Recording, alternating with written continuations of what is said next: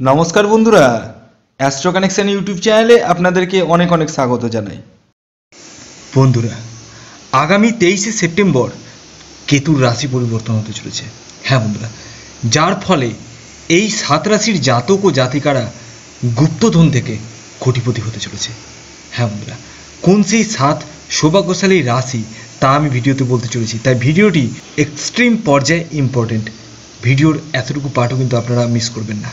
আমি কল্যাণ রায়, আসুন, শুরু করা যাক।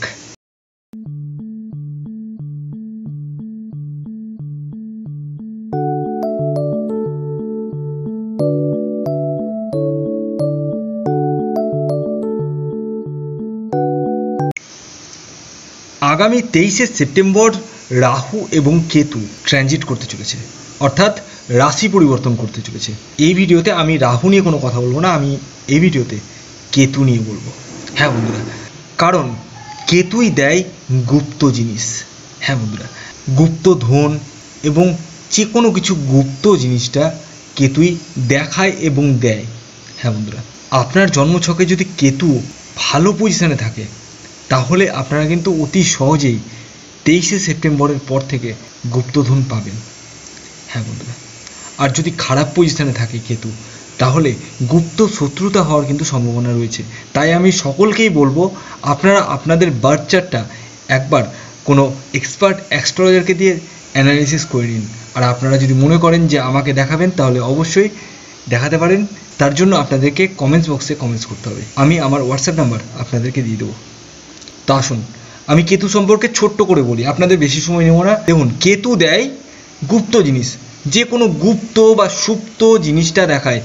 আপনার জন্মছকে যদি কেতু ভালো থাকে, তাহলে কি হবে? আপনার জন্মছকে যদি কেতু ভালো থাকে, তাহলে আপনি রিসার্চ ওরিয়েন্টেড কাজ করবেন। আপনার জন্মছকে যদি কেতু ভালো থাকে, তাহলে আপনি গুপ্ত বিদ্যা শিখতে পারেন। আপনার জন্মছকে যদি কেতু ভালো থাকে, তাহলে আপনি সায়েন্টিস্ট হতে পারেন। এছাড়াও, আপনার জন্মছকে যদি কেতু ভালো থাকে, তাহলে গুপ্তধনও পেতে পারেন। তাই হতে চলেছে এই সাত রাশির। এবার আসুন, আমি গুপ্তধন সম্পর্কে ছোট্ট করে বলি। দেখুন, আমাদের প্রত্যেকের মনে গুপ্তধন পাওয়ার কিন্তু একটা সুপ্ত বাসনা থাকে। হ্যাঁ বন্ধুরা, তো এই সুপ্ত বাসনা সকলের কিন্তু আশা পূরণ হয় না। কিন্তু যে সাত রাশির কথা বলতে চলেছি, তাদের কিন্তু আশা পূরণ হবে। এবার গুপ্তধনের অনেকগুলো পর্যায় রয়েছে। প্রথমত, আপনারা দেখবেন কারও ব্যাংকে হঠাৎ করে অনেক টাকা ঢুকে গেছে। শুনে থাকবেন হয়তো। আগেকার দিনে দেখবেন দিঘিতে জাল ফেলল, জালে টান মারলো, আর দেখল যে একটা মাটির ঘোড়া উঠে আসলো এবং সেখানে প্রচুর মোহর। তো এটা কি? এটা গুপ্ত জিনিস, লুকোনো জিনিস হিডেন জিনিস। এটা কিন্তু কেতু দেয়। এছাড়াও দেখবেন কনস্ট্রাকশনে যারা বিজনেস করছেন, অর্থাৎ বাড়ি ঘর নির্মাণ করেন, তারা তো ভিত খনন করেন এবং সেখান থেকেও কিন্তু অনেক গুপ্ত ধন কিন্তু উঠার সম্ভাবনা থাকে এবং গুপ্ত অনেক কিছুই উঠে। তো এরকম পূর্বে হয়েছে, আপনার জন্মছকে যদি কেতু ভালো থাকে, তাহলে আপনারাও কিন্তু পেতে পারেন। তো আসুন, এবার সাত সৌভাগ্যশালী রাশির নাম আমি বলতে চলেছি। তো প্রথম যে রাশিটির কথা আমি বলব, সেটি হচ্ছে মেষ রাশি। হ্যাঁ বন্ধুরা, আপনি যদি মেষ রাশির জাতক বা জাতিকা হন, তাহলে আপনারা কিন্তু তেইশে সেপ্টেম্বরের পর থেকে গুপ্তধন পেয়ে কোটিপতি হতে চলেছেন। এরপরে যে দ্বিতীয় রাশিটির কথা আমি বলতে চলেছি সেটি হচ্ছে মিথুন রাশি। হ্যাঁ বন্ধুরা, আপনি যদি মিথুন রাশির জাতক বা জাতিকা হন, তাহলে আপনারাও কিন্তু গুপ্তধন পেয়ে সহজেই হয়ে যেতে পারেন কোটিপতি। এরপরে যে তিন নম্বর রাশিটির কথা আমি বলতে চলেছি, সেটি হচ্ছে কর্কট রাশি। হ্যাঁ বন্ধুরা, আপনি যদি কর্কট রাশির জাতক বা জাতিকা হন, তাহলে আপনারাও কিন্তু গুপ্তধন পেয়ে কোটিপতি হতে চলেছেন।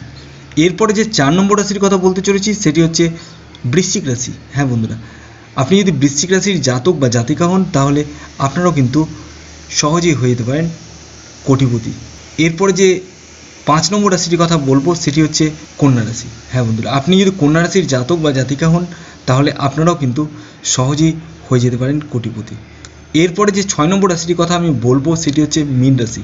হ্যাঁ বন্ধুরা, আপনি যদি মীন রাশির জাতক বা জাতিকা হন, তাহলে আপনারাও কিন্তু সহজেই হয়ে যেতে পারেন কোটিপতি। এরপরে যে লাস্ট এবং সাত নম্বর রাশিটির কথা বলব, সেটি হচ্ছে কুম্ভ রাশি। হ্যাঁ বন্ধুরা, আপনি যদি কুম্ভ রাশির জাতক বা জাতিকা হন, তাহলে আপনারাও কিন্তু সহজেই হয়ে যেতে পারেন কোটিপতি।